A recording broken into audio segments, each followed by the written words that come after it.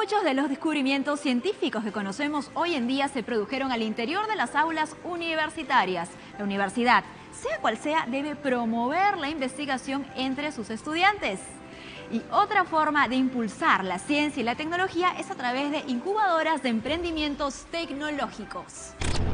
Con ese fin, la UNAM creó Incuba Agraria, que fomenta el desarrollo del emprendimiento y la innovación en estudiantes, docentes y su entorno. Conozcamos esta iniciativa y a su gerente, Brenda Costas. Hola Brenda, ¿cómo estás? Bienvenida a Todo Tecno. Hola Mirta, buenas tardes con todos. ¿Cómo están ustedes? Bien, gracias por acompañarnos. Cuéntanos en principio cómo trabaja Incuba Agraria y cómo es que efectivamente ustedes promueven emprendimientos tecnológicos. Perfecto, Mirta. Encantada de poder contarles lo que es Incubagraria. Incubagraria es la incubadora de empresas de la Universidad Nacional Agraria de La Molina.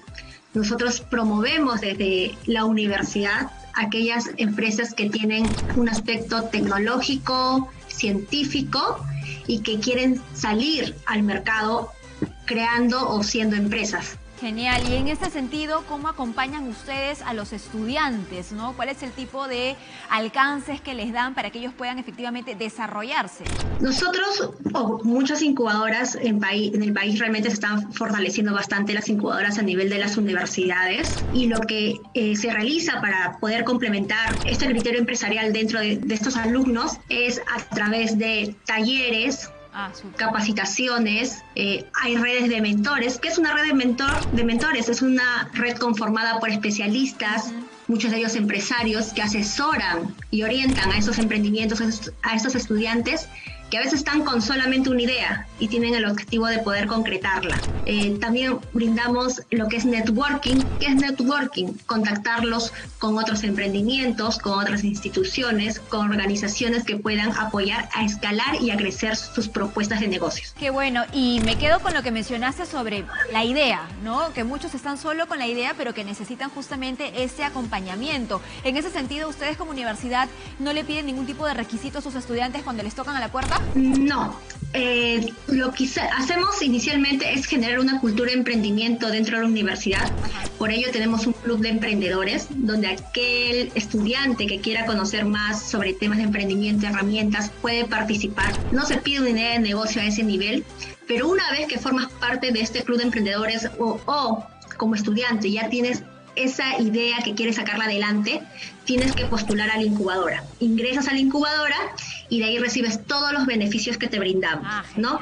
Y uno de los principales retos que tienen también los emprendimientos cuando están en fase inicial es el financiamiento. Existen organizaciones en el Estado, como el Ministerio de Producción, que brinda fondos de capital semilla para emprendedores y eh, las incubadoras, cómo, cómo apoyamos para que, para que estos emprendimientos puedan postular al fondo de capital semilla, acompañándolos, preparándolos para que se presenten a estos concursos y puedan iniciar esta propuesta, sobre todo en su fase inicial, que es el desarrollo a veces de prototipos, productos mínimos viables y puedan luego salir al mercado.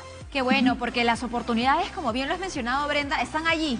¿No? Incluso para financiamiento, que es lo que podría obstaculizarles el camino a algunos emprendedores y emprendedoras, pero hay que acompañarlos, asistirlos técnicamente, porque, por ejemplo, postular uno de esos concursos tampoco es sencillo. ¿no? Hay que, hay, que, hay que hacerlo y hacerlo bien. Si alguien o algún emprendimiento eh, quiere postular, realmente necesita un asesoramiento.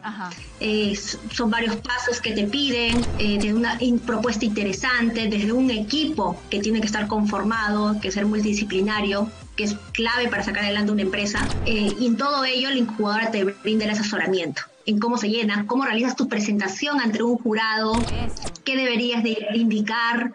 Eh, el reto del emprendedor tiene que convencerte en menos de cinco minutos. Claro. En cinco minutos tienes para poder convencer al jurado. Eso es lo que se practica, porque más adelante vas a tener que convencer a tus clientes en menos de cinco minutos. Claro, no Eso es lo que te enseña el y no solo hay que tener la expertise, ¿no? Como dice Brenda, hay que tener la gestión y luego vender este proyecto.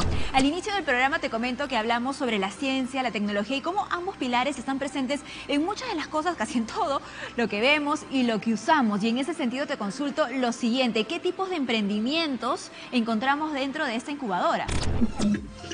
Nosotros fomentamos empresas, como dije, muchas de ellas nacen de la investigación. Por ejemplo, tenemos emprendimientos que eh, han desarrollado eh, barras eh, proteicas a base de insectos y eso se realiza previamente realizando una investigación de años que eh, a fin de también ofrecer algo innovador. Estas barras de proteínas eh, tienen siete veces más de, nutrientes y de proteínas que eh, la carne normal. Ese es un ejemplo de emprendimiento y, con, y sobre todo considerando que ahora el gran reto que se tiene es el tema de seguridad alimentaria. Tenemos emprendimientos que utilizan los recursos de la biodiversidad. Recordemos que Perú es uno de los países más eh, ricos en biodiversidad. Utilizan estos recursos para poder crear cosmética natural.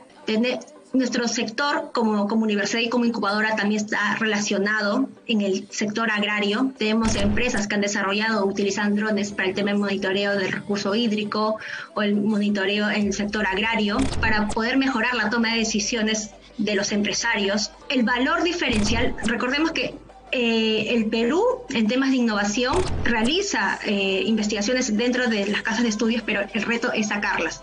Entonces, si un emprendimiento tiene un aspecto de tecnología, de, eh, definitivamente tiene un aspecto diferencial y lo hace más competitivo en el mercado, a poder sacar un emprendimiento que ya es tradicional y que probablemente pueda subsistir, pero no va a tener tanta escalabilidad como algo innovador. Y eso es importante, ¿no? Porque así como hay muchos emprendedores, emprendedoras, y se dice, ¿no? Que el Perú es innatamente emprendedor, que somos un país de emprendedores, hay muchos emprendimientos que en el camino desaparecen y por eso que es importante que existan estos espacios para darle solidez al emprendimiento, Brenda.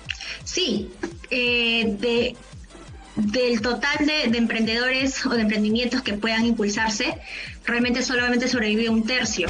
Y muchas veces porque no tienen el aspecto innovador o porque eh, realmente no están solucionando un problema o una necesidad del cliente.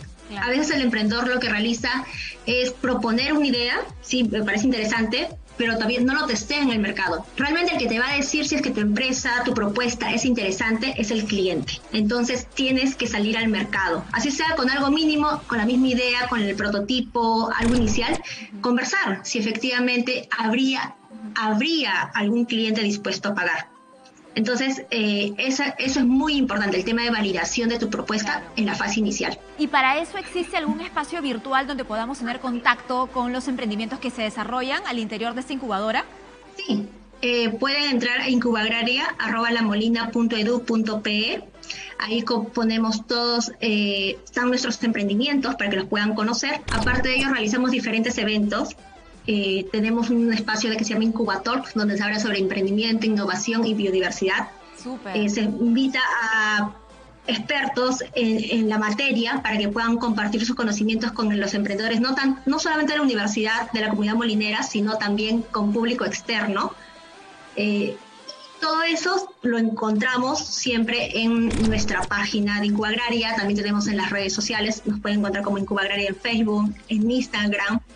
Eh, y siempre estamos realizando nuevas actividades. Ah, lanzamos para el segundo semestre del año, en el mes de julio, vamos a lanzar un programa que se llama Emprendimientos enfocados a la biodiversidad.